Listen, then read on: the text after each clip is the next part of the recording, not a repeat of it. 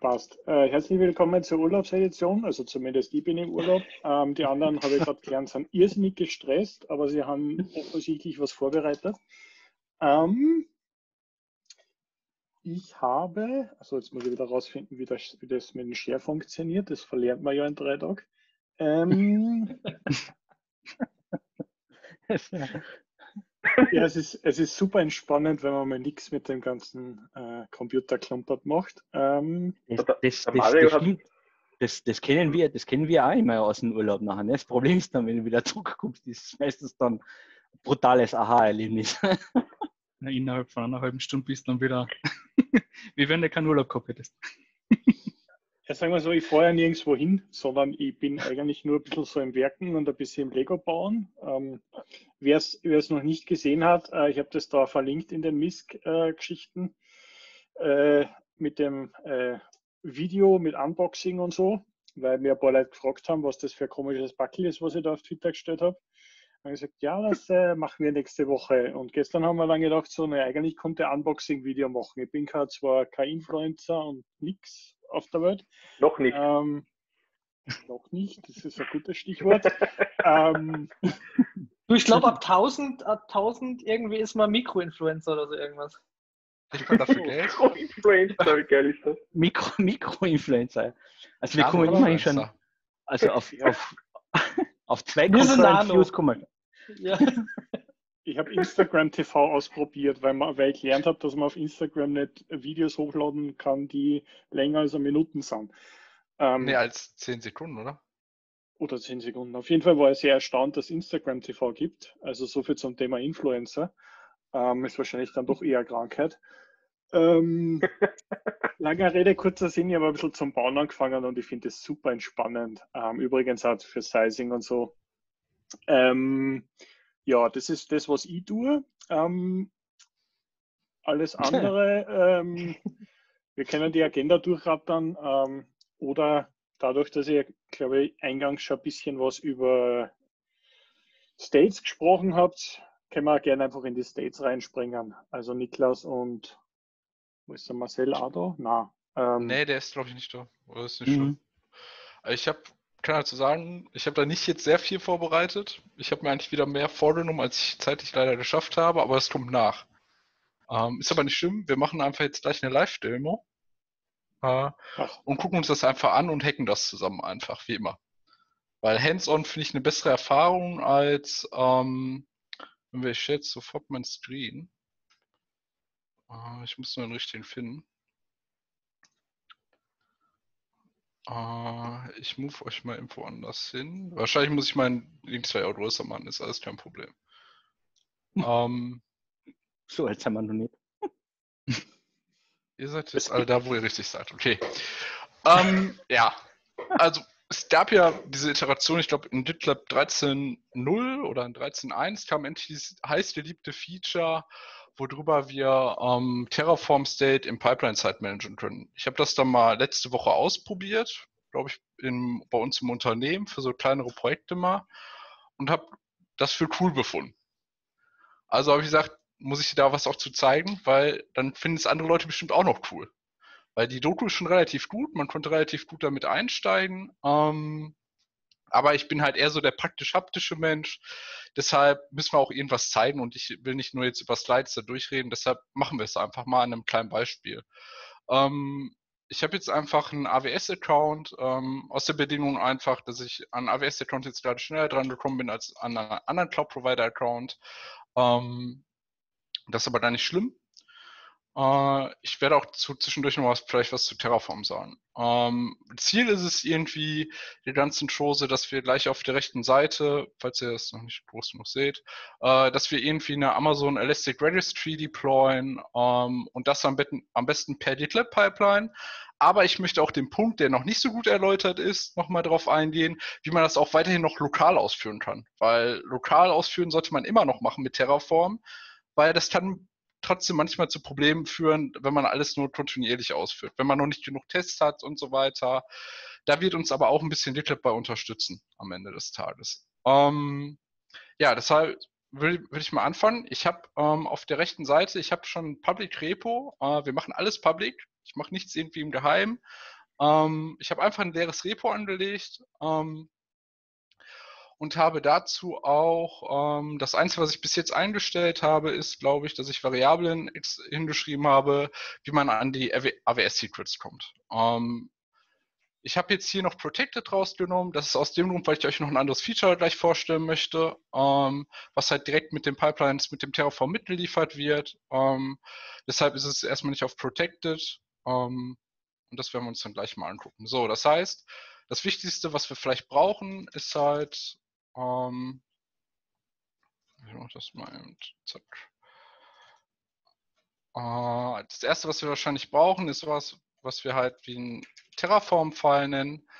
Ähm, das bedeutet halt, Terraform fängt eigentlich immer damit an, dass man ähm, Infrastruktur damit deployt. Also es ist kein Configuration Management Tooling, sowas wie Ansible, Puppet, Chef oder so. Es geht darum, eigentlich um Ressourcen zu managen. Ressourcen zu erstellen, zu löschen, alles, was CRUD hat.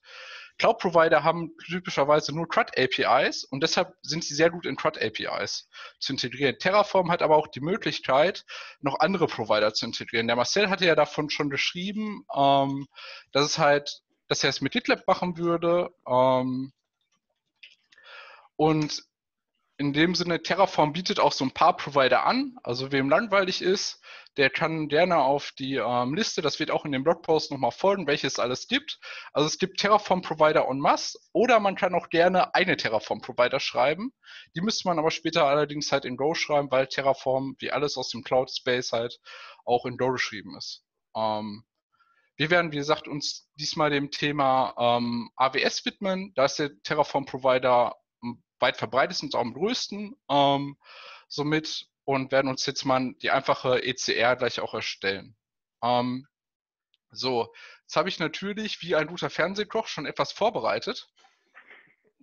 Ähm, das heißt, damit, damit wir jetzt nicht alles tippen müssen, ähm, habe ich jetzt so ein bisschen Terraform-Code hingeschrieben und da gehen wir mal ein bisschen vielleicht schnell durch. Ähm, das heißt, hier, das mit dem Terraform Backend, das ist jetzt das neue Feature, ähm, was später GitLab genutzt wird. Terraform hat die Möglichkeit, dass man auf den State in dem Sinne nicht nur lokal auf dem Rechner speichert, sondern halt auch in einem Remote Backend. Und das kann jetzt in dem Fall HTTP sein. Man sieht aber auch auf der rechten Seite, ähm, Types, genau, gibt es halt in dem Sinne noch ein paar mehr andere Backends, die auch supported werden. Das heißt, so klassischerweise speichert man das oft im S3-Bucket.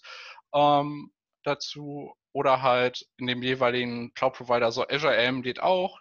Das nutzen wir zum Beispiel sehr gut auf der Arbeit. Das heißt, damit kann ich halt auch so ein Backend halt definieren und sage, der Terraform-State soll nicht bei mir lokal liegen, weil Terraform funktioniert so, alle Ressourcen, die er stellt, speichert er sich in diesem State und dadurch weiß er, wie die API halt in dem Sinne aussehen soll.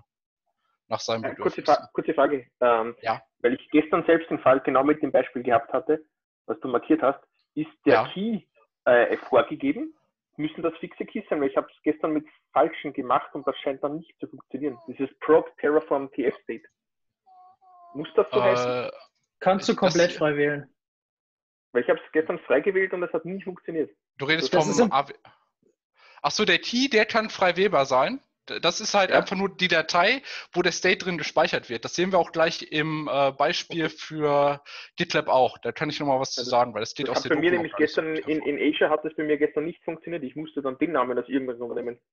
Ja, das können wir uns auch gerne nochmal so uns angucken. Mhm. Also, also ich habe mit Azure, muss ich auch sagen, ist nicht so die einsteigerfreundliche Terraform Experience weil man gefühlt halt auch sehr viel immer nachbauen muss oder halt, es gibt noch nicht so viele Convenient-Sachen wie in dem Sinne, was wir jetzt hier haben, ist halt ein Modul. Das heißt, ein Modul ist wieder eigentlich nur ein, eine Sammlung von Terraform-Files. Ähm, das bedeutet halt, hier sind jetzt die wirklichen Daten halt drin. Ich muss es jetzt nicht alles neu schreiben, ich kann einfach dieses Modul nutzen als wiederholbare Komponente. Äh, wiederverwendbare Komponente. Und ähm, mit, dem Master, mit dem Master würde ich aber ein bisschen aufpassen. YOLO. Wir leben doch auf der Edge. Nein, normal würden wir auch pinnen. Ähm, normal kann man es sogar auch ein bisschen besser machen. Man kann halt auch direkt die Terraform Registry nutzen und halt dafür dann nach dem jeweiligen Modul suchen. Also es gibt für die großen Cloud-Provider gibt es immer was. Ähm, und wenn man jetzt hier ECR, ich glaube, die sind auch gelistet, dann können wir das gerne auch austauschen. Dann brauchen wir nämlich da nicht mehr dit angeben, weil das ist die Möglichkeit auch. Nicht nur das hier. Das nicht. Also wir können auch halt sagen, hey, nutzt das aus der Terraform Registry und dann mit der Version und die Version ist eigentlich nur der dit Tag. In dem Sinne. Also das wird halt auch gehen. Ähm, ja, so. Genug über Terraform in dem Sinne im Einzelnen erstmal geredet. Das heißt, den ersten Schritt, den wir jetzt gerne, den ich jetzt gerne machen möchte, ist halt, wir wollen das ja irgendwie halt auch ins Repo halt reinkriegen. Ähm, das bedeutet halt, wir brauchen natürlich das gut altbekannte GitLab CI-YAML. Ähm, glücklicherweise, wenn man sich die ähm, Doku von GitLab selber anguckt, ähm, so kurz etwas anderes gucken. Terraform State. Eben einmal. Zack, zack, zack. Da, cool. Ähm, das ist auch in der Doku schon relativ gut dokumentiert, auch First in Usable, das werden wir jetzt auch gleich sehen. Hier ist nochmal so ein bisschen alles erklärt. Ich gehe gleich nochmal auf diesen anderen Punkt hier mit dem Terraform Init gleich ein. Ähm, das heißt, GitLab hat uns halt schon so ein kleines ähm, Beispielskript vorbereitet. Ähm, in dem Sinne, hier ist das folgende GitLab CI YAML, ähm, was halt in dem Sinne dann die ganzen Terraform-Schritte halt durchgeht, weil jede Ressource muss erst geplant werden, bevor sie ausgeführt werden. Terraform muss selber erst initialisiert werden und es wird noch validiert. Ähm, dafür nehmen, können wir dann halt einfach die ähm, GitLab CI YAML nutzen. Ähm, ich habe jetzt hier eine kleine Änderung in dem Sinne. Oder? Nee, habe ich. Doch, habe ich. Ich habe in dem Sinne die kleine Änderung hier zum Thema TF-Root. Da wir jetzt in dem Sinne den Terraform-Root hier lokal haben, direkt im Directory, gebe ich halt hier das Project hier an. Das ist die einzige Änderung zum gesamten GitLab CI-YAML. Ähm, damit wir halt ein bisschen mehr Convenience halt haben. So. Ähm, jetzt haben wir diese beiden Files. Ähm, das heißt, wir können anfangen, wir committen Nehmer, ähm, wir commit Initial Commit. Habe ich mir was vergessen? Nein.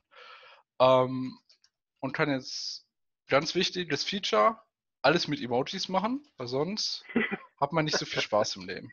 Ah ne, das Geil. ist falsch. Welches Emoji ist das? Tada. Also ich hätte jetzt das Fox-Emoji erwartet. Ich bin, wenn, wenn, wenn du den Kürzel kennst, den ich mir merke, ich kenne Sweat Smile, das ist so mein Lieblings-Emoji. Aber den kann ich halt nie schreiben, dann müssen wir erst zehnmal den Emoji fixen und tada ist immer einfach. Nimm Facepalm. Ja, ähm, ich habe einen, hab einen Shortcut für Alfred und dann tippe ich das und mache Copy-Paste, also kann man es auch nicht merken. Und jetzt habe ich es nicht im richtigen. Ah, ich muss auch pushen, ne? Pushen, ja. Ist ja dezentral.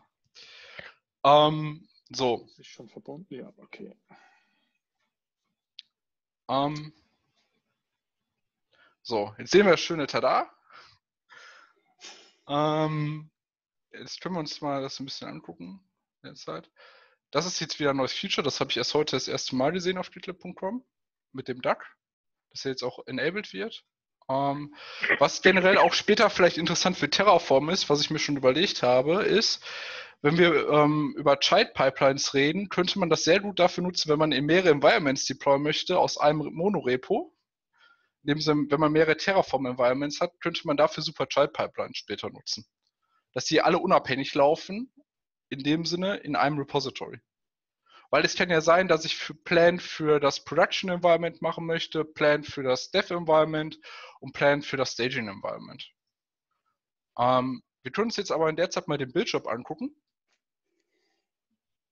Ähm, was ihr jetzt halt hier seht, Jetzt muss ich mir diese coolen Sidebar rausziehen und den kriege ich nicht raus, ne?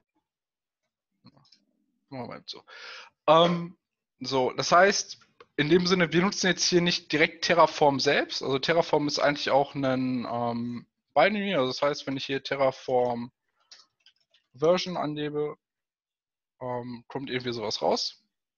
Wir nutzen halt in dem Sinne das GitLab Terraform, aber das ist im Endeffekt halt nur ein kleiner ähm, Shell-Wrapper. Den kann man auch finden. Das sieht unter GitLab Images. Ähm, ist halt so ein kleiner Wrapper, der halt in dem Sinne nur Terraform uns ein bisschen convenient halt leichter zu benutzen ist. Also das heißt, dass wir diese ganzen Sachen, die wir ter für Terraform Init machen müssen, ähm, nimmt uns halt dieses kleine Shell-Skript halt so zum Großen halt ab, weil wir dann nur noch die einzelnen Befehle. Das ist jetzt eher so für die Pipeline natürlich getrimmt. Ähm, können wir halt die folgenden Schritte halt ausführen. So, jetzt gehen wir mal zurück. Ähm, in der Zwischenzeit müsste jetzt, glaube ich, der nächste Job durchgelaufen sein. Das heißt, jetzt passiert halt ein Validate. Ein Validate ist dafür da, der guckt jetzt in dem Sinne, ob ich meinen Terraform-File auch richtig beschrieben habe. Also ist halt sehr schön. Das macht halt ein Linting drauf und kann mir sagen, ob ich irgendwelche inhaltlichen Fehler habe oder halt Schreibfehler. Damit man halt da auch schneller kommt. Aber er prüft die wiederum nicht, wenn man das erst applied. Also das heißt, er kann nicht die entgegengelegenen Ressourcen wirklich überprüfen. So. Jetzt klassischerweise kommt dann der sogenannte Plan. Ähm, und jetzt sehen wir halt, was beim Terraform Plan eigentlich wirklich passiert. Das Terraform Plan ist jetzt dafür da. Er sagt jetzt, er möchte halt in dem Sinne was anlegen. Die Plus, die Grünen sind alle, dass welche Ressourcen angelegt werden wollen. Also in dem Sinne lege ich hier einen AWS-User an. Das kann man auch sich nochmal ganz gut im ähm, kann man sich auch nochmal in dem Fall angucken. Also in dem Sinne, das ist der User, der hier angelegt werden soll. Und dazu werden dann halt auch noch in dem Sinne die Policies, die AWS-Regeln angelegt und so weiter. Da muss ich halt dadurch kommen, dass einzelne Repository später, ähm, ja. So. Das nächste, was wir jetzt halt machen müssen, wir müssen, es ist jetzt noch nicht da, also wenn wir uns jetzt nochmal das AWS ECR angucken, äh, sehen wir auch, es ist nichts da. Jetzt müssen wir es natürlich ausführen. Das bedeutet halt, wir können mal zurück auf unsere Pipeline gehen. Wir haben halt hier den schönen manuellen Schritt auf Apply und können halt es in dem Sinne applyen. So. Ähm, es dauert jetzt eben kurz, bis der Runner startet. Das wird immer ein bisschen ähm, anschließend, was er jetzt machen wird, was ich vielleicht nochmal in der Zwischenzeit erzählen kann dazu, ist ähm, dieser Build-Step oder der Plan-Step, der gibt halt ein Artefakt mit über. Da, das ist halt ähm, der Plan Cache, das ist ein reines Binary, wo jetzt alle Schritte drin stehen, die ausgeführt werden sollen. Man könnte es auch direkt immer beim Apply machen, nur dann wird sich Terraform jedes Mal den aktuellen State von der API holen.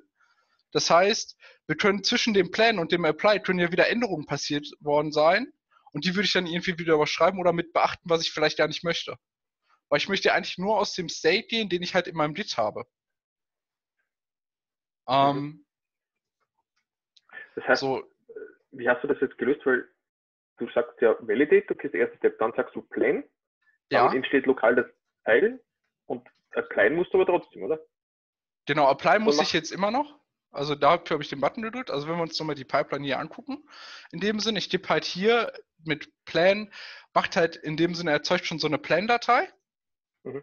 Das ist die Plan-Cache-Datei und die wird dann als Artefakt übergeben. Artefakte sind ja, werden bei DTLab immer so übergeben, die werden immer mit in die nächste Stage automatisch übergeben. Ja. So, das heißt, nach Bild kommt klassischerweise dann auch ähm, Deploy oder kommt dann Test immer. Ne, Bild, Test, Deploy. Ähm, aber da wir keine Teststage hier in dem Sinne haben, wird das in dem Sinne nach Deploy halt geliefert. Wir haben halt hier das When Manual. Das bedeutet halt, hier können wir es halt auch wirklich nur applyen. Und weil du Plain Cache äh, im Artefakt hast und dadurch hast du es im Deploy, zieht er das File und das nimmt er dann. Genau, das nimmt er dann, okay. weil er das File auch wieder ausliest. So, jetzt sehen wir halt auch hier in dem Sinne succeeded, juhu und wir haben unsere AWS-Ressourcen halt angelegt. Das bedeutet halt, hier sieht man jetzt halt die wirklichen Sachen, die passiert sind. Ähm, wir legen halt hier die ganzen Policies an und so weiter. Wenn wir jetzt mal wieder zurück in unser ECR gehen, ich hoffe, ich bin in der richtigen Region. Ja, bin ich. Gut. Ähm, sehen wir jetzt auch, unser GitLab Pod ECR ist jetzt auch da, unsere Image Registry. Wir können die jetzt weiterverwenden. Ähm, jetzt kann es natürlich sein, dass ähm, der Manager um die Ecke kommt und sagt, boah, super, Niklas, du hast jetzt schon so eine coole ECR registriert, aber wir brauchen noch ähm, einen zweiten User, der die Registry benutzen kann. Da sage ich, okay, können wir machen, ist sehr viel Aufwand. Nach außen ist es immer sehr viel Aufwand, aber die effektive Arbeit sagen wir natürlich nicht. Ähm, das heißt, wir machen das jetzt einfach mal, wir legen einen neuen User noch an. Ähm, dafür nehmen wir die gut altbekannte Web-IDE mein Lieblingstool. Ähm, das heißt, wir kopieren, wir legen eine weitere Ressource an, in dem Fall den GitLab User, den nennen wir vielleicht mal einfach GitLab Prod. Ähm, so, dann benutzen wir den natürlich auch hier unten, dass der dann da ist. So, ich hoffe, ich habe jetzt nirgendwo Typus drin. Sonst müssen wir gleich nochmal laufen. Wir machen natürlich einen neuen ähm, User. Wir fügen den halt hinzu.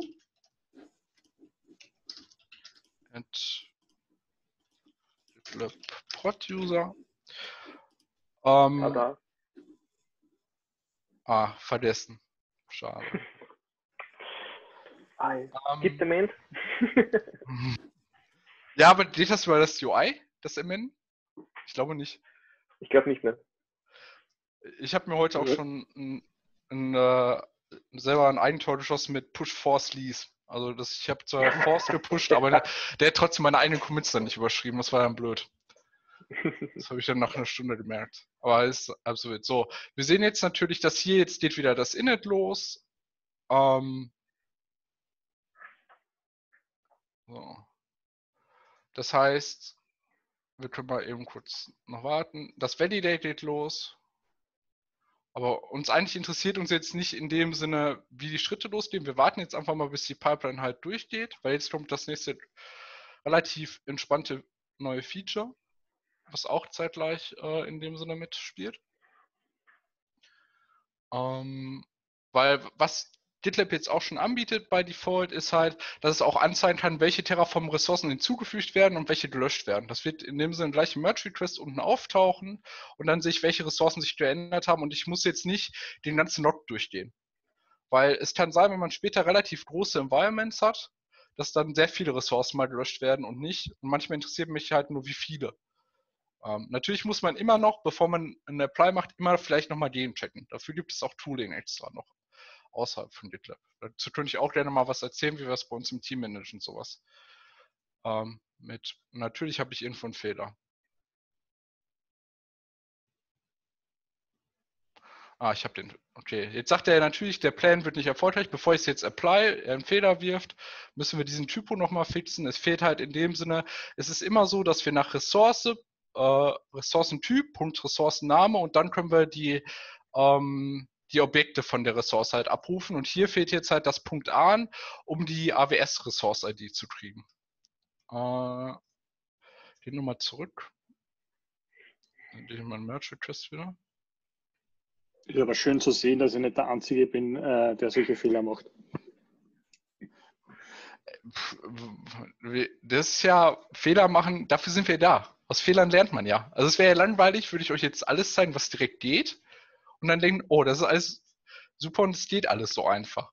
Ist doch leider nicht realitätsfern. Wir kämpfen doch alle mit unserem Problem. Ja, und wir haben, wir haben damals bei der Isinger DSL auch so einen Indexer gebaut mit Punkt, äh, quasi, um auf Arrays zuzugreifen oder, oder Dictionaries. Und versuche einmal das zu erklären, schlüssigerweise. Und dann machst du es und denkst so, es geht alles. Hm, da steht ein falscher Wert drinnen. String passt nicht auf Array. Ähm, und genau ähnlich tickt Terraform. Ja. Ähm, so, ich hoffe, jetzt haben wir alle Fehler beseitigt. Dann kannst du mal auf das Duck klicken. Ja, weil da habe ich noch nicht. Ah, okay.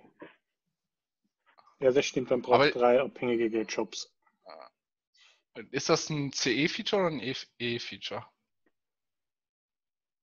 Das soll, glaube ich, für alle ausgerollt werden. Das Problem war nur, dass es für die 13.1 zu spät kam, okay. soweit ich es im Kopf habe. Und es ist jetzt auf gitlab.com ausgerollt. Es gibt auch ein Feedback-Issue, das ist da verlinkt. Ähm, also da, wenn, wenn das dann in Natura in Farbe und Bunt ausschaut, ähm, ist es durchaus auch brauchbar. Ähm, an der visuellen ähm, Darstellung wird natürlich noch gearbeitet. Also das ist jetzt wirklich der erste Wurf. Und da gibt es ja schon einiges an Feedback in dem, in dem Ticket drinnen. Also das, ja. Ähm, das macht bei Terraform später auch sehr viel Sinn, kann ich auch schon sagen. Also dass man dann einen ähm, azyklischen Graphen hat, dann um zu sehen, muss ich jetzt gerade Production applyen oder muss ich gerade Staging applyen? Was muss ich dafür machen? Welchen Plan-Step muss ich machen? Ähm, das kann dafür auch sehr stark helfen. Also wir haben da auch ein bisschen stark von profitiert. Ähm, so, jetzt hoffen wir mal, ich habe keine Typos mehr. Das dauert es noch einen Moment. Das klingt super spannend. Das können wir dann entweder live ausprobieren ähm, oder wir machen es die nächsten Male einmal. Also ich, wir können auch gerne eine ganze Infrastruktur public aufziehen, trotzdem mit Security und jeder darf reingucken. Aber nichts verändern. So, jetzt sieht es, glaube ich, besser aus. Ich hoffe. Ich hoffe, ich hoffe. Ja. So. Ähm, Genau, jetzt hat er in dem Sinne den Plan gemacht. Er zeigt uns jetzt hier auch an, hey, hier hat sich was geändert in dem Sinne. Es kommt hier ein neues Dokument hinzu, das heißt für den anderen User. Ähm, wenn man sich jetzt zurück auf die Merge Request geht und ich finde sie jetzt gerade nicht, das ist natürlich typisch. Da. Ähm, sieht man jetzt auch schön im, das lädt jetzt hier und jetzt sieht man auch, wie viele Sachen halt geändert worden sind und wie, welche Sachen in dem Sinne hinzugefügt worden sind. Das kann halt schon in dem Sinne halt auch zur Visualisierung halt helfen. Das ist eigentlich relativ gut. Ähm, ja, so. Das ist jetzt eigentlich so das neue Declip-Feature in 13.1, was jetzt so reingekommen ist. Ähm, ich habe mich zeitgleich noch ein bisschen damit beschäftigt. Da will ich jetzt noch mal vielleicht fünf Minuten drüber reden, weil ich glaube, es wird am Anhieb leider nicht klappen.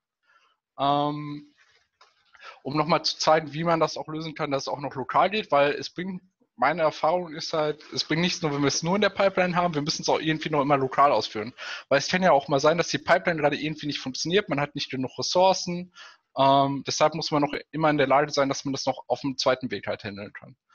Und deshalb, da wir jetzt so diesen State halt haben, können wir halt auch theoretisch damit weiterarbeiten. Ähm, das bedeutet halt, jetzt habe ich wieder was Kleines vorbereitet. Jetzt wollen wir mal kurz gucken. Das passt alles. Ähm, so, nehmen wir mal einmal zurück in mein Visual Studio Code. Cool. Ähm, habe ich jetzt, ich bin auch ein bisschen oldschool unterwegs, habe so ein altes Made-File ähm, in dem Sinne und alle Schritte, die jetzt in dem Sinne vorher gemacht worden sind, ähm, können wir jetzt halt auch lokal machen. Das heißt, im optimalen Weise müsste es jetzt so sein, dass wir in dem Sinne, was halt in dem Sinne man für diesen State halt braucht, ist halt einmal die Projekt-ID. Ich habe das hier jetzt schon ein bisschen alles abstrahiert. Die Projekt-ID kriegt man sehr einfach mittlerweile hier oben. Das ist die Projekt-ID, wo auch Projekt-ID dran steht. Ähm, wir mal kurz das schließen. Ja. Ähm, und das bedeutet halt, wir tauschen, deshalb ging das nicht. Ich habe die falsche Projekt-ID gehabt. Okay, ich habe nie was gesagt. Ähm, kann jetzt in dem Sinne, nehmen wir als Terraform State, kann, das kann jetzt in dem Sinne, weil die Pipeline nimmt ähm, in dem Sinne hier dann, ähm, zack, schön, falscher Ordner, nimmt ja hier auch in dem Sinne dann den Projektordner und das ist ja der Projektname, richtig? Oder lüge ich? Mal gucken wir mal eben. Nee, ist richtig. Ja, okay.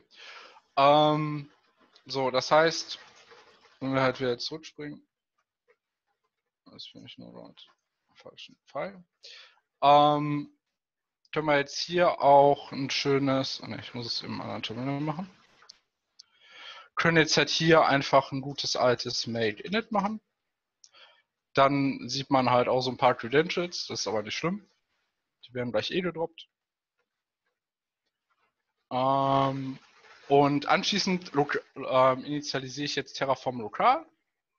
Und wenn ich jetzt halt in dem Sinne sage, hoffentlich Terraform, weil ich ja noch nicht den aktuellen Zustand habe, oder kann auch einen TF-Plan machen, ähm, müsste er mir jetzt, er, in dem Sinne, fragt jetzt zur API, zur GitLab API, was ist der aktuelle Zustand, holt sich jetzt halt den Remote-Speicherplatz äh, im Optimalfall und würde mir dann sagen, dass sich nur ein paar Teile verändert haben, aber ich vermute, er greift jetzt gerade noch nicht auf den richtigen State. So. Warte mal, Project Name. Das ist auch richtig. Das ist auch richtig. das hat auf jeden Fall schon mal funktioniert. Ich würde das für nächste Mal nochmal sagen, warum es nicht ging.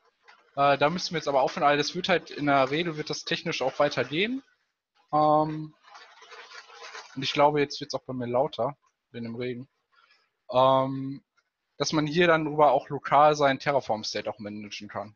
Also das heißt, ich habe die gleichen Funktionalitäten, die ich halt in dem Sinne im ähm, lokal halt in der Pipeline habe, kann ich auch lokal weiter ausführen und weiter fortsetzen. Und dann ist der State immer zeitgleich auch synchronisiert. Ähm, und das ist halt der große Vorteil. Vor allem der ne-, andere Vorteil, der hier noch drin ist, warum es dieses Locking gibt, ist, wenn mehrere Leute jetzt parallel an dem State arbeiten, dann ähm, wird immer eine Log eingebaut. Das heißt, es werden die Änderungen nach und nach eingeführt.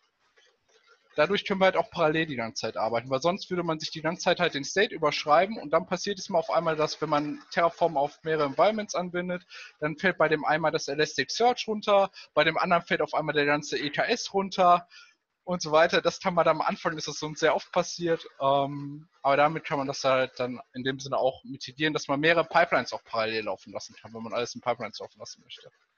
Ja. Und das war jetzt so das Terraform-Feature in dem Sinne mit Terraform State. Ja, perfekt, vielen Dank. Eine, ja. ich, das hätte ich gestern gebraucht, die Info. ja. Also ich, Keine ähm, Sorge, du, du, sprichst mit jemandem, der sich mit Terraform überhaupt nicht auskennt. Ähm, nur von mir sagen, also mir hat das schon, mir hat das schon sehr viel geholfen. Ähm, da muss ich mich ja zurückhalten, dass ich nicht zum Basteln anfange. Ich, hab, ich, hab, ich muss das gestern live lernen. Vor einigen Leuten deswegen. Aber Vor zwei Tagen hätte ich die Info echt gut brauchen können schon. Hm. Ja, ich bin leider nicht dazu gekommen, schon den Blogpost zu schreiben. Aber ähm, das kommt noch.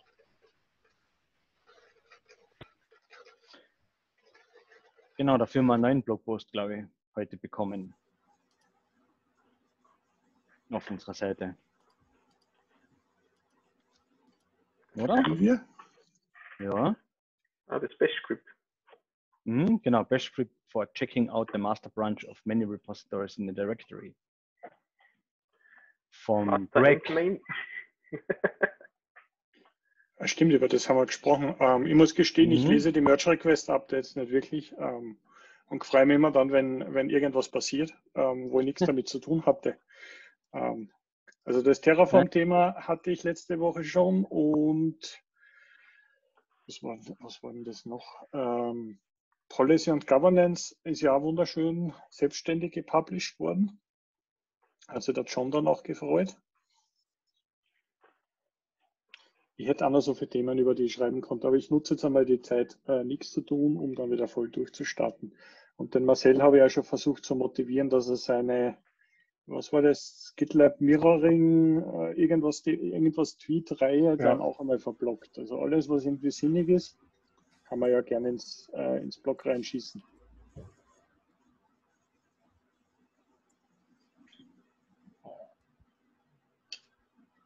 Gut. Ähm, ich habe gesehen, dass der Niklas und der, der Marcel äh, in dem Terraform-Blog-Ticket miteinander diskutiert haben. Würde das bedeuten, dass der Marcel auch irgendwelche Beispiele hat zum Herzeigen? Ähm, nicht mehr, als gerade gezeigt wurde im Grunde. Also ich kann, weil ich überlege gerade, ähm, nee, eigentlich ist es genau das, was gerade gezeigt wurde. Sprich, in dem Repository, was ich aktuell habe, womit ich das Ganze für mich immer wieder ausprobiere, mache ich auch nichts anderes als ähm, über Terraform das Repo anlegen und dann in einem weiteren Schritt nutze ich das Repo als State Backend und ziehe mir darüber eine kleine ähm, Umgebung bei DigitalOcean hoch, wo ich eventuell auch noch mal ein Beispiel mit AWS mache, so wie wir es gerade gesehen haben, aber inhaltlich und von den Befehlen her ist es halt genau das, was wir gerade gesehen haben, ja. Okay, perfekt. Na dann, äh, wenn der Niklas seinen Blogpost dann wunderschön geschrieben hat, kannst du das aufgreifen und sagen, keine Ahnung, jetzt machen wir es einmal mit DigitalOcean. Also ich glaube schon, dass das viele Leute interessiert, weil gerade, also ich hätte jetzt nicht gewusst, wo ich anfangen soll mit GitLab, State, Provider, whatever, Ding Dong. Also Ich glaube, das geht vielen anderen auch so. Ja, ich muss ähm. sagen, ich fand die Doku ganz gut. Allerdings, da könnte ich noch mal nachsehen. Da gab es nämlich einen, der sich ein bisschen sehr darüber ausgelassen hat, wo man denn die Projekt-ID findet. ähm, und das sei in der Doku nicht so ganz eindeutig gewesen. Ich weiß gar nicht mehr, ob das im Nachhinein noch mal geändert wurde.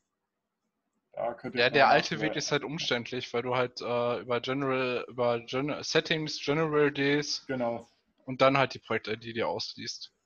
Ah, aber die Projekte, die ist, ist ja schon. Weg, ja. Aber die Projekte, die ist ja schon sehr lange in, in, in, dem, in, also in dem Overview, oder? Ja, aber ich Weiß glaube, ich, sie, war, wie, sie war visuell nicht wirklich sichtbar oder man hat es nicht so wahrgenommen. Also es, es ist, glaube ich, in den letzten, im letzten halben Jahr oder im letzten Jahr ist UX-technisch in GitLab sehr viel passiert, also mein Eindruck zumindest. Und du, du kannst halt manche Dinge klarer lesen, erfassen. Ähm, ich kann mich auch noch erinnern, dass ich in die Projekt-Settings rein navigiert bin und diese ID gesucht habe, weil ich halt mein, mein Python-Code mit der API sonst nicht funktioniert hätte. Aber mittlerweile gehst du halt ins Projekt und machst Copy-Paste. Ähm, das geht schon auch. Und klar, wenn es in der Doku fehlt, ähm, einfach editieren, ähm, forken und dann Merge-Request schicken. Also. Ja. Das kriegen wir schon hin. Ähm, ich glaube, in der Doku war nur der Punkt, dass drauf verlinkt wurde mit einem GitLab-Doku, einer GitLab-Doku-Seite, wo finde ich die Projekt-ID und das war dann eben der alte Weg über Settings, General, irgendwas und dann äh, sich da durchsuchen. Ah, ja, äh, schaue ich nach der, nachher mal drauf. Ja, es ist vielleicht ungewohnt, weil man es, glaube ich, bei GitHub an sich nicht hat.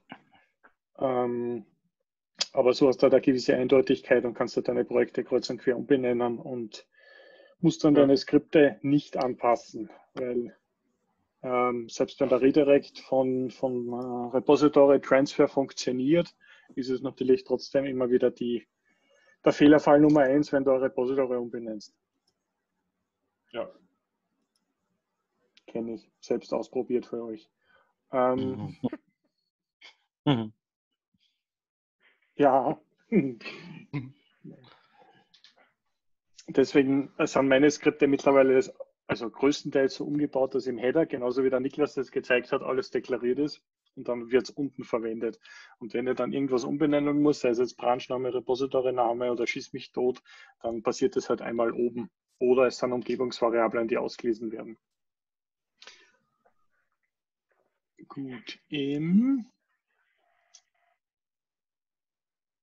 Der, der Herr Rauschbitt ähm, hat, hat auf äh, Twitter was Interessantes gefunden, wo wir zum Diskutieren angefangen haben, ich glaube letzte Woche, wo es um Dev, DevOps, DevSecOps, Kultur und äh, auf Deutsch ist das so schwierig zu erklären, halt um, um das Umdenken äh, in, dieser, in dieser Kultur oder in diesen in dieser Geschichte drinnen ist. Und ich weiß jetzt nicht, ob man, wie man da am besten einsteigt, aber ich, ich, äh, ich werfe jetzt einfach einmal den Ball nach Kärnten. Äh, und ja. Ja, also ich habe mir den, den Blogpost oder den, den Twitter-Post nochmal kurz rausgesucht.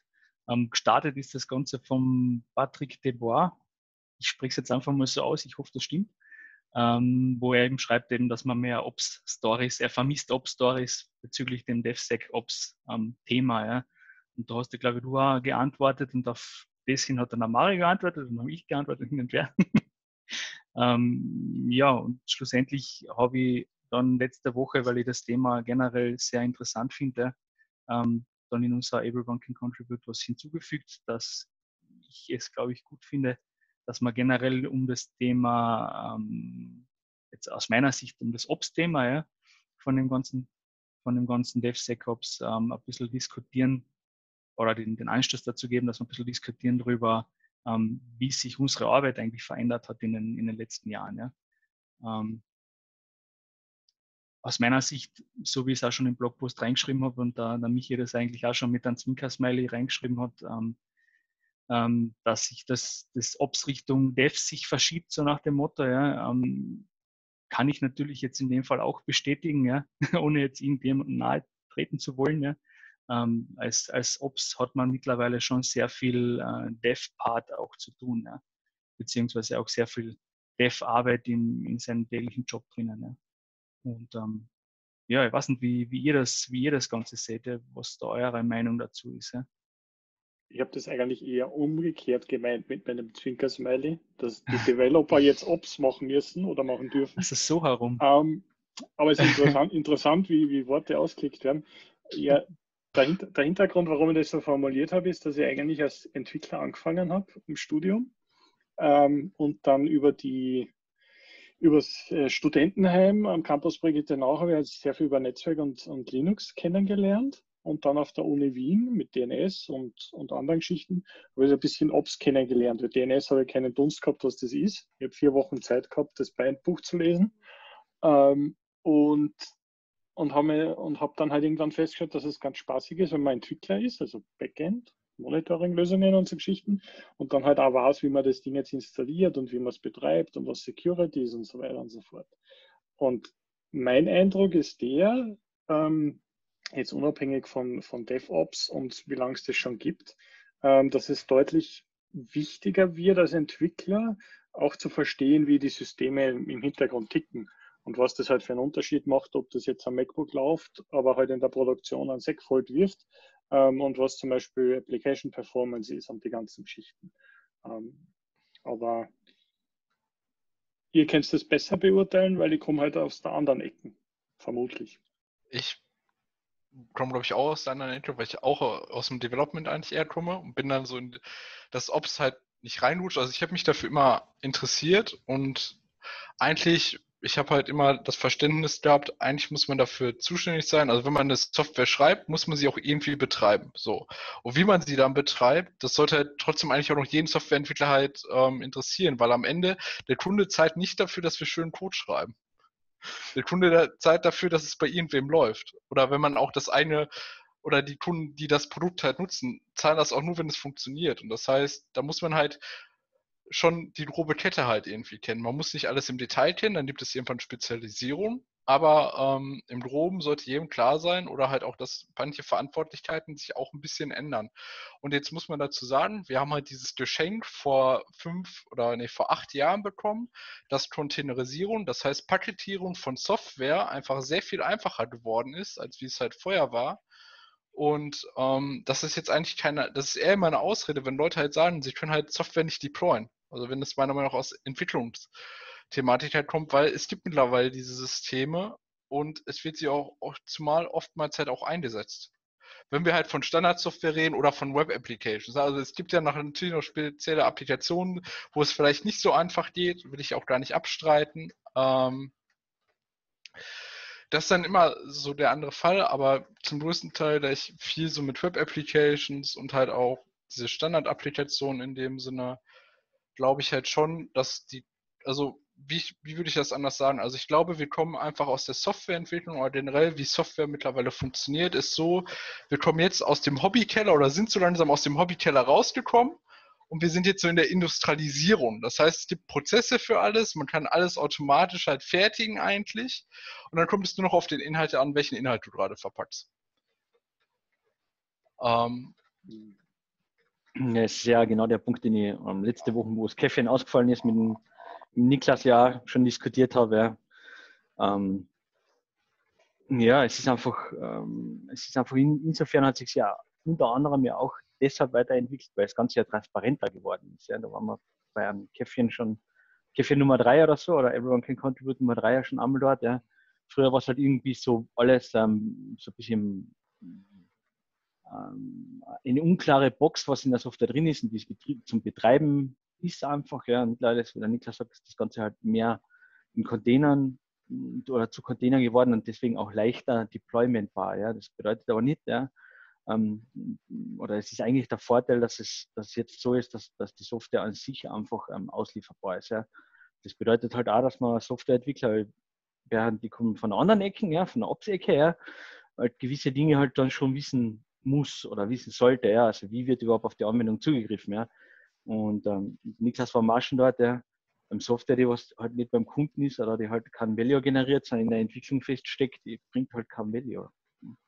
Also wenn sie nicht beim Kunden ist, der was er dann verwendet, der dann keine Ahnung was damit macht, wofür er immer die Software gebaut wurde, ja, solange sie nicht jemand verwendet, ist sie, ist sie nett, ja, und dieser Spielwiese, aber sie bringt nichts, ja. Und die Zeiträume, die man halt heutzutage hat, ja, um Software ausliefern zu können, sind halt immer Monate, sind halt Tage, ja. Mhm. Stunden. Vor allem, vor allem, die, die Immutable Data, ah, Immutable Infrastructure ist ein Riesenfortschritt in dem Ganzen. Also, ja, dass du, dass du Maschinen ja. Äh, neu baust und dadurch brauchst du ja auch einen Weg, dass die standardisiert zusammengebaut werden. Ne? Ja, ja und vor allem eben reproduzierbar ja. zusammengebaut werden. Also gerade die, die, Reproduzierbarkeit in dem ganzen Thema, also gerade dann mit BitOps und so weiter, gerade die Reproduzierbarkeit, glaube ich, hat, behaupte ich mal jetzt an, ja, alle in dem Umfeld, sei es DevOps oder Sec, ja, wesentlich weitergebracht, ja, weil, weil jeder irgendwie nachvollziehbar ähm, sehen kann, ja, was da überhaupt konstruiert wird, ja. Ich finde halt auch, was sich halt geändert hat, vielleicht zu früher, wenn man jetzt noch ein bisschen weiter zurückgeht, nicht nur sagt die letzten zehn Jahre. Also man muss auch sagen, was sich auch grundlegend geändert hat, ist, so wie ihr schon sagtet, Immutable Infrastructure. Also es gibt einmal die technologischen Sachen. Zudem gibt es aber auch, dass man muss nicht mehr große Investitionen halt führen. Also jeder kann bei uns jetzt sich einfach für 20 Cent oder so mal einen ganzen Cluster hochfahren, zwei, drei Sachen ausprobieren, wenn er nur ausprobieren möchte, gar keine Langzeitergebnisse sehen möchte und danach wieder wegwerfen. So, das mhm. heißt, früher war es so, bevor man überhaupt anfangen konnte oder enabled war, musste man erstmal Maschinen kaufen, die man irgendwie benutzen konnte. Ähm, und das war ja dann für viele schon eine Hürde. Das ist halt auch so, wie es jetzt mittlerweile immer mehr Material gibt, immer mehr Leute nutzen das Internet. Mhm.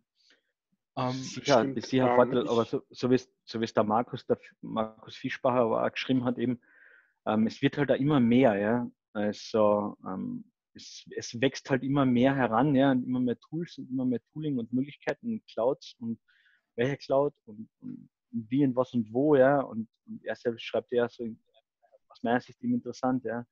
Um, I have to tell myself every day to focus and plan my day accordingly or properly. It's hard and I and if I'm not doing well, I like like in these days, it's even harder, ja. Also ich glaube schon, dass das auch schwierig ist mittlerweile für viele, die was jetzt sagen, wir sind wir alle schon, glaube glaub ich halt zumindest, ja, relativ lange in dem Metier unterwegs ja, und haben viel Erfahrung. Ja. Und diese viele Erfahrung haben wir uns über Jahre im Prinzip ja erarbeitet und, in unsere Köpfe gespeichert und können uns darüber unterhalten. Ja. Aber es ist schon schwer für junge Kollegen da den Einstieg zu finden, ja, weil, puh, das, was du heute einmal so locker lässig in 20 Minuten gezeigt hast, so Terraform und AWS, und machen wir mal ein Registry und machen dieses und jenes. Äh, und mit API und mit ähm, Crude äh, ähm, APIs arbeiten und mit State-Files und so weiter, das, ist, das klingt für uns alles mehr oder weniger wie täglich Brot, ja. Aber da hängen eine Myrade an Sachen zusammen, ja, die du zwar natürlich, genauso wie du gesagt hast, nicht im Detail verstehen musst, ja, aber zumindest wissen solltest, ja, heute, ja, wie was wo zusammenhängt, ja. Sonst wird es schwierig weil die Abstraktion ja. beim Fehlerfall dann bitter enden kann, ja, bis du dann das ja. Problem findest. Du musst, also, wie du gesagt hast, du musst so wie du heute gesagt hast, ja, da fällt der, der Punkt oder so wie der, äh, Markus gesagt hat, ja, ähm, das funktioniert so und so, das bringt was mit in Array, ja, völlig klar, ja. Ja, das ist, schon, halt, okay, ja. das ist halt Erfahrung, ja. Ähm, ich glaube aber, es geht halt wie gesagt, ein bisschen um Enablement. Also, dass man Leute halt, ja, die vielleicht schon, ja, in dem Sinne, dass sie jetzt leichte Sachen halt nutzen können. Man muss nicht dafür halt gewisse Sachen erst erreicht haben, um das machen zu können, oder manche ja. Schmerztäter halt schon, ja. haben können. Ich finde halt immer die Möglichkeiten, Satz, die Möglichkeiten, ähm, zu probieren, sind definitiv Gott sei Dank ja, wesentlich breiter, wesentlich breiter geworden. Ja, absolut, ja. Aber na, trotz alledem, ja, das ähm, zu finden, wo fange ich an, ja, oder wie wir jetzt gerade alle diskutiert haben, ja, pfuh, die Doku, die passt eigentlich im Großen und Ganzen, haben wir super zurechtgefunden damit. Es fallen nur zwei oder drei Kleinigkeiten. Ähm, die zwei oder drei Kleinigkeiten sind, sind dann die Dinge, die was nachher viele definitiv zur Verzweiflung dann die Decke bringen, ja, weil halt das doch nicht ganz klar ist, wo die Projekte-ID steht. Ja. Das kann, ist für uns Klar, ja, und völlig klar. Oder ich schaue es mir einfach irgendwo nach, ja, finde ich schon im Ul oder irgendwo, ja, ist überhaupt kein Problem. Aber für andere ist das eine Hürde, ja. ja ich glaube Hürde. halt, also was, was mir aufgefallen ist, was wir auch eigentlich schon im Kern gesagt haben, der Unterschied ist mittlerweile, es gibt nicht nur noch ein, zwei große Provider oder es gibt nur noch ein, zwei Tools, die du jetzt können musst.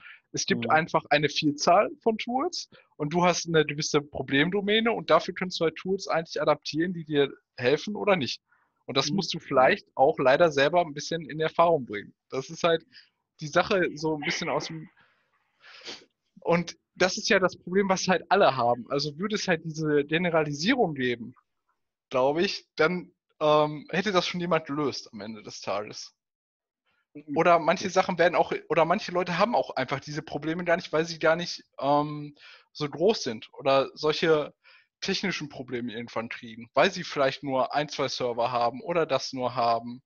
Ähm, das muss man ja auch immer noch in Relation sehen. Aber ich finde halt mhm. halt immer so ein, guten Satz, den ich mir halt immer so im Kopf halt behalte, ist der, den ich halt aus dem SAI-Book von, ähm, ich will jetzt nicht, ich nicht wieder über Google reden, aber ich finde, das ist immer so ein ähm, guter Satz, der mir eigentlich das relativ klar macht, warum wir Sachen einfacher machen müssen. Also, dass sie andere Leute halt benutzen können. Also, es bedeutet halt, Karl Geiser von Google hat mal gesagt, um, if a human operator needs to touch your system during a normal operations, you have a bug the definition of a normal changes as your systems grow. Das bedeutet halt, ähm, alle Sachen, die wir manuell in dem Sinne wieder installieren müssen, wenn wir nur Standardtätigkeiten wie wir müssen Server gerade runterfahren, also nicht die Extremsituation, wovon wir meistens dann immer reden.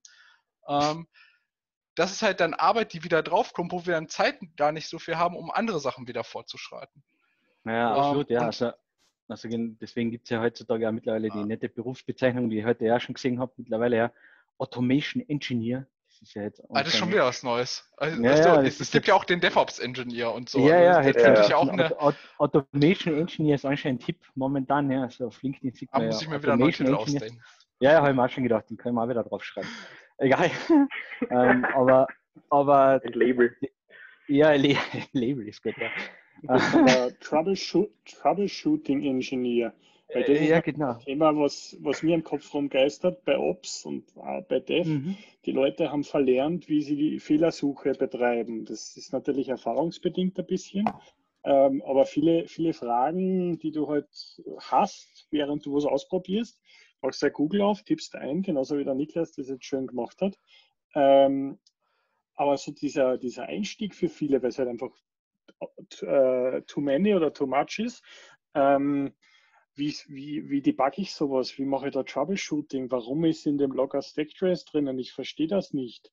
Ähm, dass du den Stacktrace halt den Kopf zerkleinern musst, um dann die Fehlermeldung zu erkennen. Ähm, das ist das, was, glaube ich, in, dadurch, dass wir so schnell Technologie leben, das geht verloren. Und es gibt wenige Köpfe, die über das nachdenken ähm, wie man Troubleshooting-Doku schreibt, wie man halt sagt, wenn du die, das siehst, editiere dieses eine File und nicht schreib, mach halt, ähm, dass man versucht, das einfacher zu machen. Das ist, das ist ein mhm, Thema, was mir am Herzen liegt. Ich habe aber noch keine, keine Lösung dafür gefunden, wie, äh, mhm, glaub, wie das am besten geht.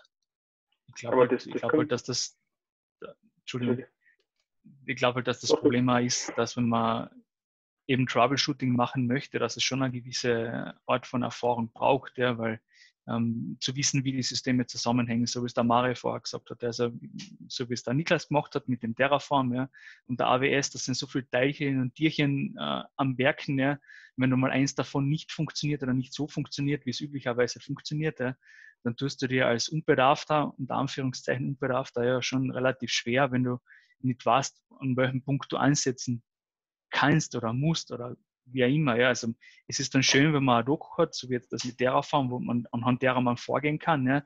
Die hilft halt leider nicht, wenn dann eines dieser, dieser Teile aufgrund dessen, dass die Doku zum Beispiel schon vielleicht etwas älter ist, ja, dann nicht mehr so funktioniert, wie es in der Doku zum Beispiel da drinnen steht. Ja. Und da haben ja. viele dann aus meiner Sicht das Problem, dass sie, dass sie eben genau zum Thema Troubleshooting dann nicht wissen, an welchem Punkt sie überhaupt ansetzen ja. können und müssen, damit sie dann den nächsten Schritt weiterkommen. Ja. Das ist definitiv ein interessantes Thema, weil auch genau das, was der, weil genau das, was der Michael, das, was der Michael eben gesagt hat, gerade eben zuerst, ähm, das merken wir ja auch im Team mit unserem jungen Kollegen, ja, ähm, der hat aus meiner Sicht überhaupt kein Problem damit mit der Technologie an sich selber. Ja, der programmiert alles Mögliche ja, und fuchst sich da ohne, ohne Probleme in etwas rein. Ja, aber Troubleshooting, das ist irgendwie, das ist irgendwie so wie früher, ja, wo der, wo der Großvater dem, dem Sohn erzählt, wie man ähm, ein Haselnussstauden schneidet. Ja, weil das ist halt einfach nicht, das ist halt einfach nicht straightforward. Ja, das, ist irgendwie eine Fertigkeit, eine Fähigkeit, ja, die man gezeigt kriegt. Ja. Wie liest man ein Doku oder was ist an einer Doku überhaupt wichtig? Ja? Weil die Dokumentation heutzutage, das sind Bücher. Ja, da reden wir ja nicht von einer A4-Seiten, sondern das sind ja, also allein die GitLab-Doku, das ist ja, ich weiß gar nicht, wie dick das Ding geprintet ist, riesig, ja. Und, und wo, wo, auf was, was, wo schaust du überhaupt hin auf den Monitor? Ja? Na, wie erkennst du überhaupt in einer Doku, was sind die relevanten Punkte? Gleich wie man, wenn man Stack Trace lesen, genauso wie der Michael gesagt hat, das ist eine Übungssache, ja?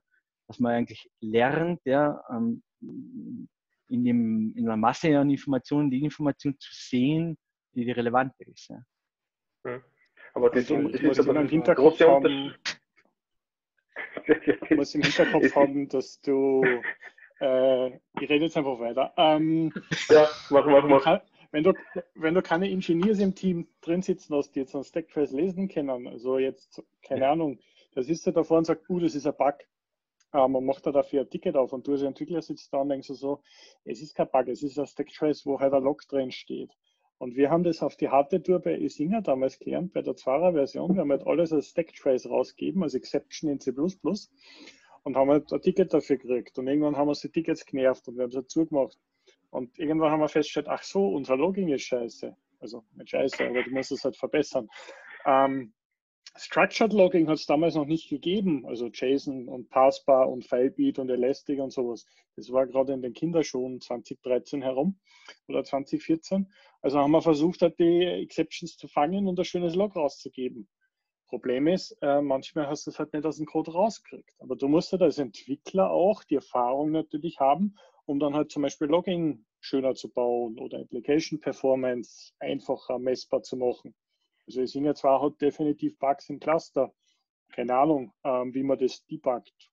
Also das sind Dinge, da gibt es keine Doku, sondern da musst du halt zehn verschiedene Sachen, die du auf Stack Overflow oder GitHub findest, kombinieren und dann halt hoffen, das funktioniert und im Nachgang oder während dass du das schreibst, weil nachher schreibt man kein Doku mehr, während dass du es quasi ausprobierst und das Erfolgserlebnis hast, musst du es auch dokumentieren.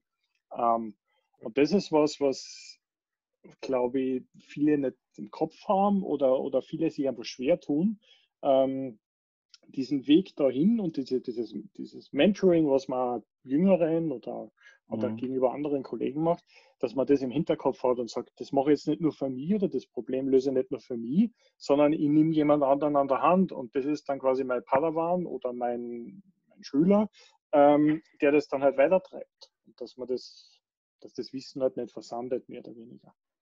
Ja, also ich glaube. Tutorial versus Documentation.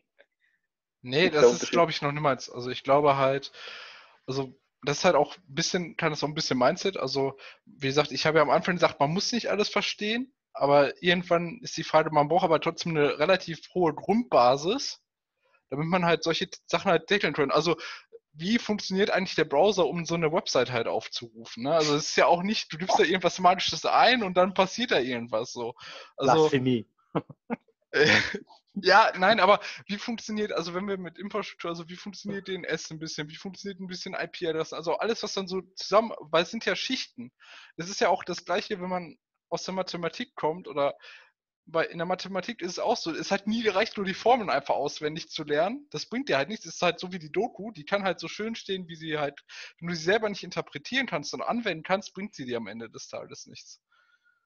Ähm, und ich glaube, man muss und das ist halt meiner Meinung nach der ganz wichtige Punkt, den wir eigentlich immer haben, ist halt, wir müssen ein kontinuierliches Lernen machen. Das heißt, man kann nicht heute alles wissen, man wird morgen auch nicht alles wissen, weil dafür ist die Menge einfach zu groß, aber man muss sich immer neue Sachen herausfordern und dann halt kontinuierlich kleinere Schritte machen, um dahin zu kommen. Irgendwann kann man auch mehr Probleme lösen. Die Frage ist halt, wie kann man, wie ihr schon auch gesagt habt am Anfang, wie kann man diese kleinen Schritte halt in dem Sinne, wie kann ich lernen halt zu troubleshooten oder wie ich halt so Sachen halt runtergehe. Das ist ja eigentlich systemisch, ein systemisches Verfahren oder eine Methodik am Ende des Tages. Ähm, ja, ja, es ist auch im Prinzip wiederum eine Fertigkeit, ja, die man, die man mentoren kann oder soll oder muss, ja, oder, oder anderen eben mitzugeben, ja. Weil, so wie ich in einem Twitter auch geschrieben habe, ist selten findest du heutzutage alle Informationen, die du brauchst, um das zu lösen an einer Stelle. Weil jeder hat eine gewisse, ähm, kommt von einem gewissen Punkt, ja, wenn er etwas dokumentiert oder einen Blogpost schreibt, ja, um, um etwas mitzuteilen, also geht zu einem gewissen Punkt. Und das machen alle irgendwo von, von ihrer Warte aus, ja, weil jeder hat einen anderen Wissensstand. Ja. Und du kommst wieder mit einer anderen Idee oder mit einem anderen Problem von einem ganz anderen Punkt wieder ja, zu, dem, zu dem Thema hinzu. Ja. Und, und du musst oder es ist halt einfach, also die größte Fertigkeit und Fähigkeit ist halt einfach relativ schnell viel an Informationen aus unterschiedlichen Quellen mit unterschiedlichen Qualitätsgraden und Herangehensweisen zu scannen und das Ganze im Kopf dann zu merchen. Yay, geht, geht Merch zu machen im Kopf, ja. Weil dann kommt wahrscheinlich vielleicht so äh, 80% hm, Lösung raus, mit der du selbst wieder weiterkommst. Ja? weil alles niederschreiben alles zu dokumentieren in jeder Eventualität, was eine Software mittlerweile äh, an Zuständen erreichen kann, ist, glaube ich, äh, hoffnungslos. Wobei ich finde, man kann das sogar so ein bisschen in zwei Ebenen sehen. Also bei mir im Team zum Beispiel muss ich sagen, ist das wirklich sehr, sehr gut. Wir machen eigentlich gar nichts von Hand auf den Servern. Das ist alles automatisiert und sobald jemand was mehr als zweimal macht, werden dafür Skripte geschrieben oder Terraform, Chefcode angepasst, wie auch immer.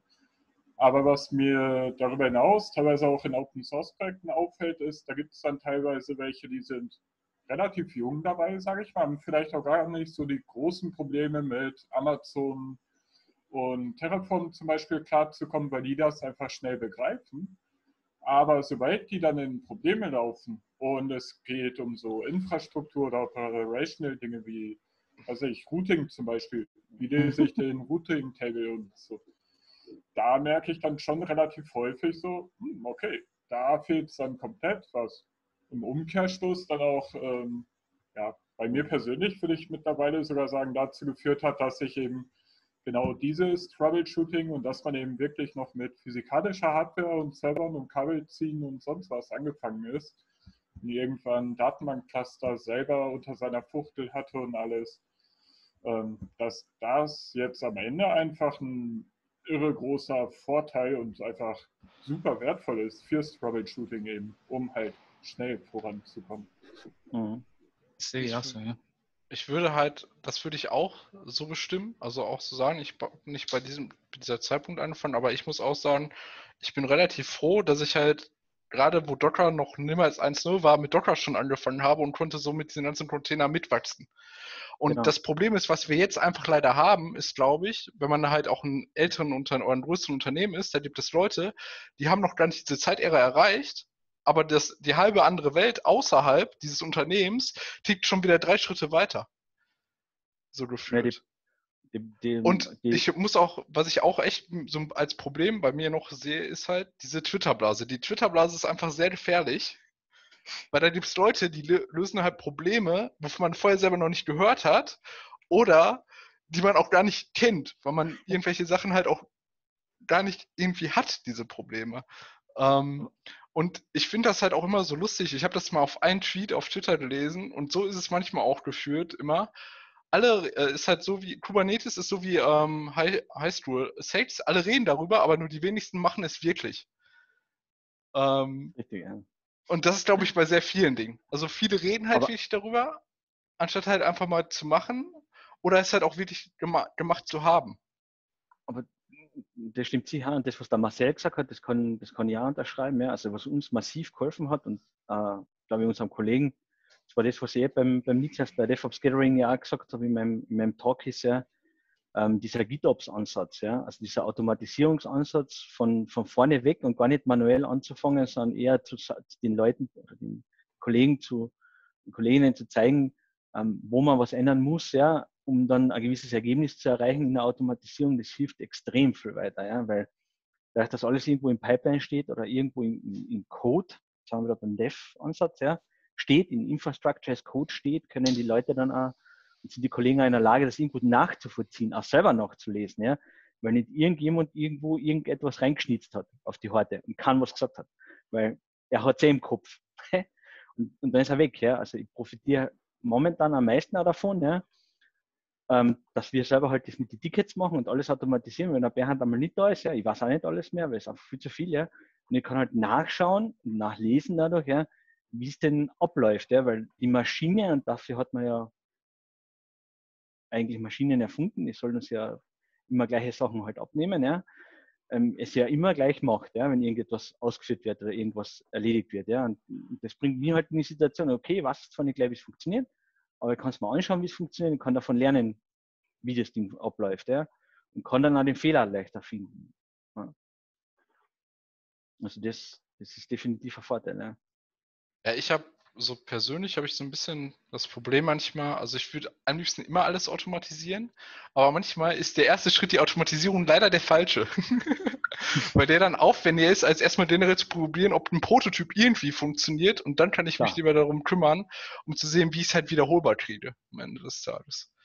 Das ist halt dann auch mal so dieses zweischneidige Schwert, was man natürlich tendiert. Und ich glaube schon auch, dass dieses, wir schreiben das jetzt in irgendwelchen Code oder es machen irgendwie kleine Programme ähm, dass uns das in dem Sinne hilft, weil wir haben nun mal faktisch viel mehr Teile, die wir irgendwie managen müssen. Das mhm. ist ja, früher hatten wir sehr viele Hardware-Teile. Jetzt ist es nicht nur so, dass wir sehr viele Hardware-Teile haben. Die sehen wir noch mal manchmal, wie Marcel auch schon sagte, gar nicht mehr physisch. Da klickt es in der Cloud. Da, da wissen noch nicht mehr Leute, dass das eigentlich nur irgendwo ein, ein abisolierter Prozess auf einem echten Blech ist. Äh, und da läuft dann nochmal vielleicht drei, vier Software-Schichten an, nicht nur drei, vier, es laufen ein paar mehr, also 20, 30 Software-Schichten noch darüber. Und wenn du Pech hast, musst du mal alle Schichten irgendwann durchgehen. Weil du halt ein echt sehr schwieriges Problem kriegst.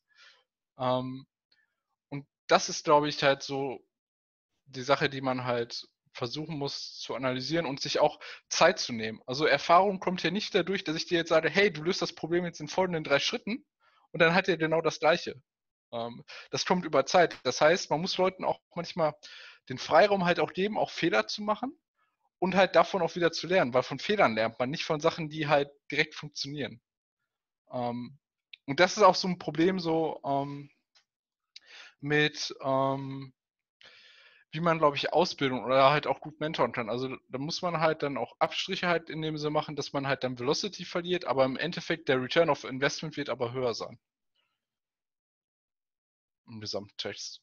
Ähm, ja, liegt aus meiner Sicht dann wieder, so wie es der Maria reingeschrieben hat, um den Bogen vielleicht wieder zu kriegen zu dem Tweet.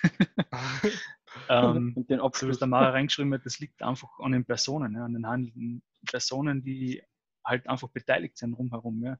Ist das jetzt, keine Ahnung, der, der Junior Developer, der halt äh, mir an der Seite steht und dem ich halt versuche, das weiterzugeben, das, das Wissen äh, oder die Erfahrung viel, viel mehr, ja, das Wissen weniger, aber die Erfahrung, ja, wie man so etwas angehen kann. Ja. Ähm, und auch, so wie du es ja schon richtig gesagt hast, Niklas, äh, dass man es erlaubt und zu, zulässt, ähm, dass Fehler passieren und dass man sie dann aber auch gemeinsam aufarbeitet und sagt, okay, schau, so und so hm, hätte man es können anders lösen oder ähm, keine Ahnung, dass man halt einfach demjenigen dann hilft und nicht dann einfach dann hinstellt und erschießt, ja, auf gut Deutsch. Ähm, und auch, ja, so wie es der Mare vorhin auch schon gesagt hat, ja, dass man halt alle Dinge, die auftreten, halt irgendwie hindokumentiert. Und sei es, wenn es dann halt nur in dem jeweiligen Issue drinnen steht, ja, und vielleicht nicht gleich eine große Doku draus gemacht worden ist, ja, also zumindest in einem Issue steht, was passiert ist. Ja. Also das habe ich bei mir auch ganz stark gemerkt in den letzten zwei, drei Jahren, wo wir halt auch mit GitLab und Kanban-Board unterwegs sind, ähm, mittlerweile mache ich echt wirklich schon, Entschuldigung den Ausdruck vorab, ja, den jeden Furz äh, gibt es jetzt mittlerweile schon ein Issue, ähm, weil ich einfach gemerkt habe, dass es massiv hilft. Jetzt eben nicht nur mir, so es der Mario vorher schon gesagt hat, sondern auch den Kollegen, die dann, wenn ich mal nicht da bin, reinschauen können und schauen können, okay, ähm, da hat es schon einmal was in die Richtung gegeben, was hat denn der und der jetzt da getan, ja. Ähm, allein das, das hilft schon massiv. Ja. Das ist jetzt kein super Doku, es mag vielleicht auch nur ein paar Screenshots sein, aber das hilft vielleicht schon dem einen oder anderen weiterzukommen ja? und dann sein eigenes Problem wieder ähm, zum Greifen zu kriegen. Ja? Aber eben, wie gesagt, die, die Leute müssen gewillt sein, das zu tun und mit der Veränderung mitzugehen. Ja? Das ist, glaube ich, der, der wichtigste Punkt. Ja. Ich würde gerne den, den Bogen weiterspannen für nächste Woche als kleine Hausübung.